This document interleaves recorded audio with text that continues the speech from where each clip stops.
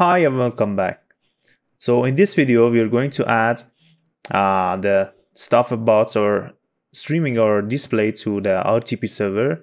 So let's first categorize our variables on top here. I'll first create a service section here and then a notification section.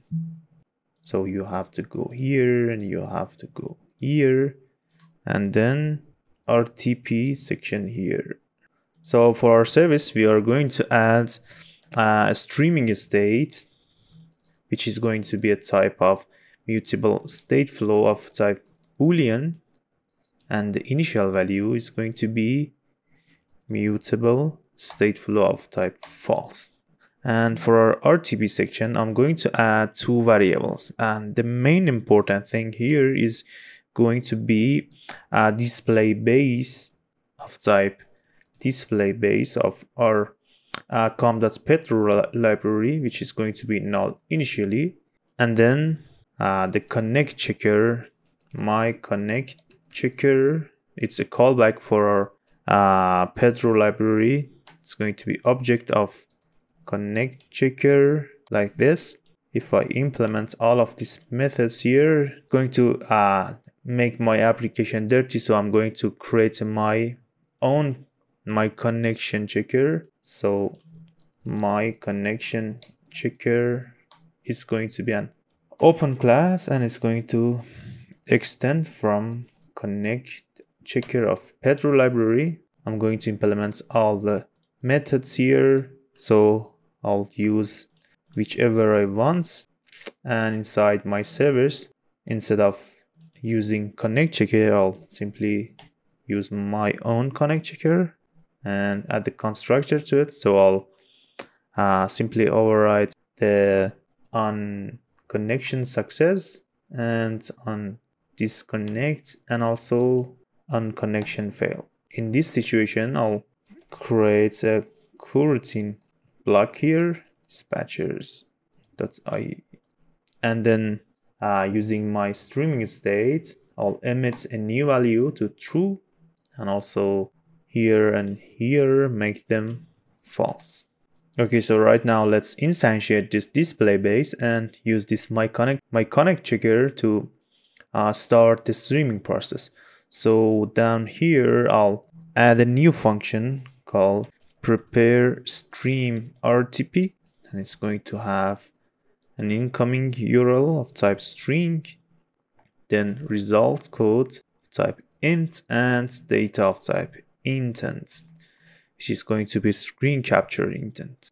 So down here, first we will store uh, the incoming URL inside our URL variable. If you remember, it's inside our companion object. So we will uh, use this whenever we restart our application or close or open the application again. So let's drop some codes here. We will check if the URL starts with uh, the prefix of RTMP. So it means that uh, we are streaming RTMP protocol. So we will instantiate display base like this, RTMP display. And for the context, we will pass base context and use OpenGL will simply set true and connect checker to it. And also for the display base, we will set intent results, result code to it, and data as the intent. Otherwise, if it's not starting with RTMP, we will use the same thing here, but RTSP display. And after that, we use the display base to GL interface and set force renderer to true. And next function is going to be start stream. And in this function, we want to check if display base is not streaming, so it's not equal to true. Uh, we want to start the stream. But first we want to prepare our uh, video and audio to start. So using display base prepare video is equal to true and also display base prepare audio is also equal to true we wanna start streaming using that URL. So there are some points here if you want to add, uh, for example, some, uh, you know, width and height and FPS, some custom, uh, you know, settings to your uh, video streaming.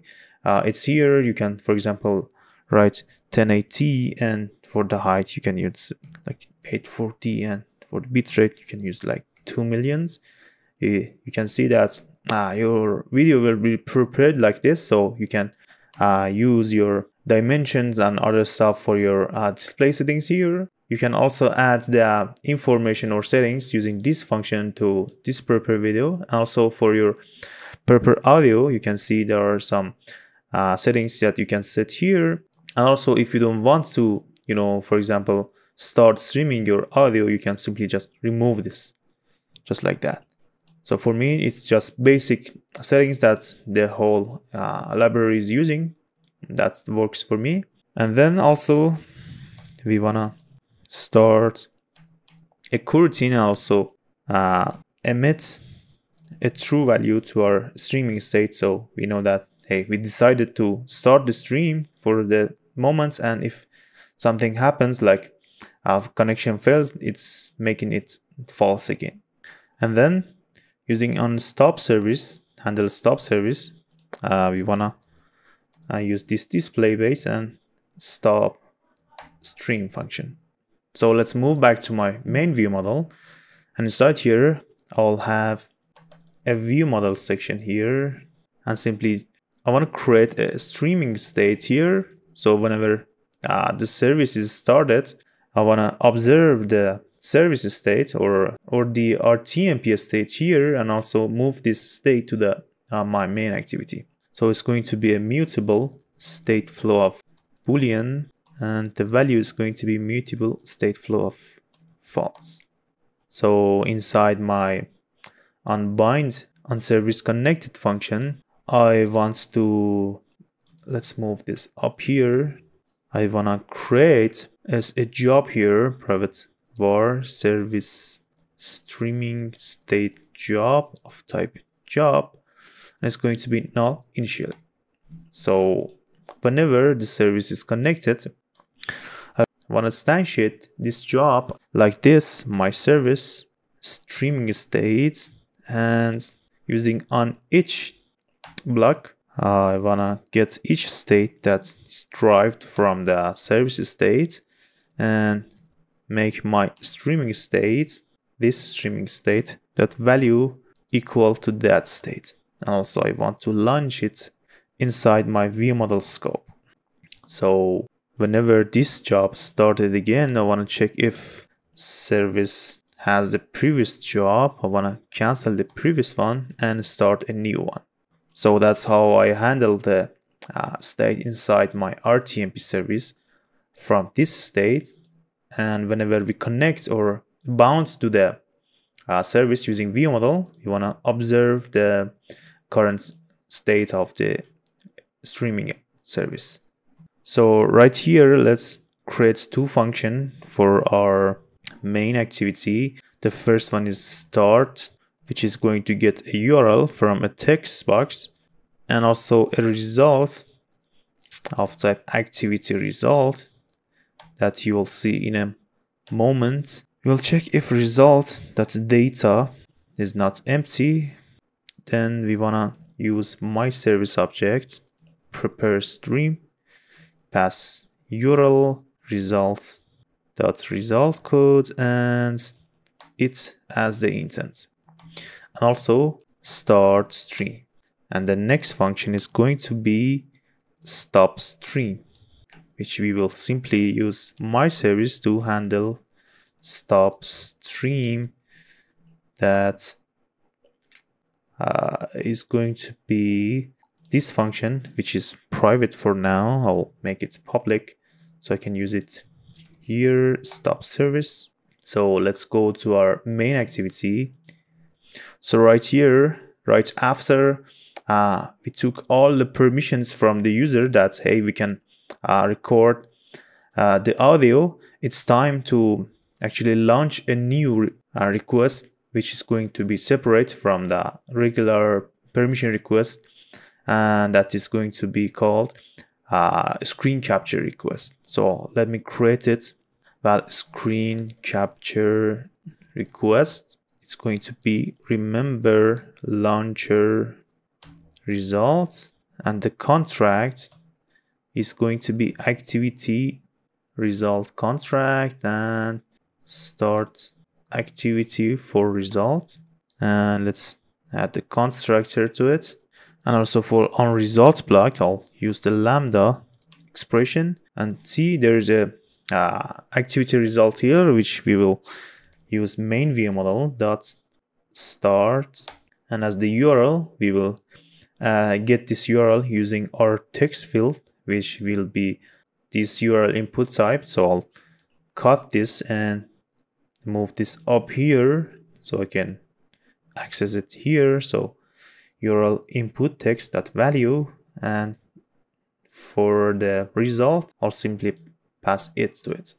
So we wanna uh, launch this screen capture request right after we get all the permissions. So let's use it here screen capture request dot launch. You see we're going to need an intent for it so the intent for screen capture uh, will be up here. I'll write a function private fun get screen capture intent.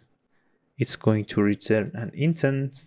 First we need to get a media projection manager instance using application get system service and pass the context dot media projection service and cast it as media projection manager.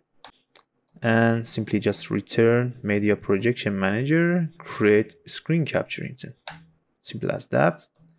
And right here we will use that get screen capture intent so whenever uh, we get all the permission we wanna launch or fire this screen capture request with the screen capture intent and then the result is going to be back inside this activity result. So if the user accepts the start screen capture, the result will be here and we will simply pass it to the uh, main view model like this and we'll start the process. So let's run the application and check if it starts streaming. So if I write my URL here and add the name to the URL, press start, you can see there's a, a intent requested for screen capture. I'll simply press start now and check inside my streaming. You can see that the stream is started and you can observe the display here in a moment. Yes, the stream is working perfect, but within a delay. So we are good to go. But we don't want our application when we, for example, start the stream, we want to notify using that state here. And whenever we close or open the application again we want to see the url is prepared here again and the state is on uh, stop here. So the stream is uh, on and we want to see this button that has the stop value inside it. So let's move to the application and fix them again so first of all up here we want to observe the streaming state here is going to be view model, main view model, streaming state, observe, collect as state. Initial value is going to be false. We know that. So down here within this block, we want to check if streaming state that value is false. It means that we are not streaming at the moment. We want to check for the permission and start the process again. Otherwise, it is uh, streaming. So we want to use view model and stop streaming function to stop the whole process. And inside this text, we want to check if streaming state that value is false, uh, the value is going to be start. Otherwise, the value is going to be stop. We can run back again our application and add the URL to it, space it, you can see when the stream starts, button turns to stop. And if we start the application again, you can see the screen is on streaming state as well. So if we press stop it, the value is stopped here. But there are two uh, important thing here. First, when uh, we restart our application, you can see the URL is gone. So we will go back to our URL input type and make it to RTMP service dot URL. So it restores back whenever we restart the application.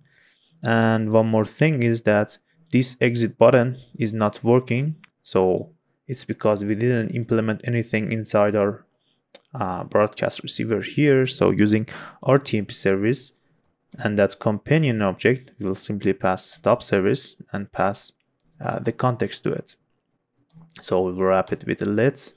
And also I want to uh, close the UI uh, using a new activity. Close activity. is going to extend from components activity and site onCreate method. We simply want to finish Affinity. Just like that. Let's add it to the uh, manifest below this activity. Just close the activity. Simple as that and using this broadcast receiver, I want to use it as the context start activity and pass a new intent to it, it and close activity. And also I'll add some flag to it using add flags and flag activity new task flag activity new task ported so let's run it again uh, let's paste my URL here. You can see the stream is started. If we close the application and launch it back again, you can see the urls here and stop button is here. So if I press stop and press start again, you'll see there's an error because we already uh, released the service. So if we check the log here, you will see that uh, to start screen capture, you're going to need a foreground service of type media projection. So it's because we uh, released our service. So let's go to our start streaming function inside our uh, RTMP service and check uh, if is service running is false. We want to handle start service again. So let's check it. If it's working correctly. Start it. Stop it. Start it again. You can see everything is working perfect. So that's it for this tutorial but before i finish this i have created a new ui for my uh, application. So let me copy and paste it here. I'll simply just replace with this one tmp screencast youtube theme. And uh, request launcher is going to be renamed as permission launcher. Also I'll add this YouTube logo here. And then for the context I want to use local context dot current. And this one should be up here and simply pass context to it so if I launch back again my application, it would have just a simple better UI for you. Yep, that's it for this tutorial guys. I hope it was helpful for you guys. If you need any help, any uh, mentorship, anything, let me know inside uh, this comment section below or you can uh, email me at codewithkael at gmail.com. Make sure that you uh, share this series with your friends and likes and comments and subscribe to my YouTube channel. That helps a lot the community and also thank you for your support. So till the next series, see you everyone.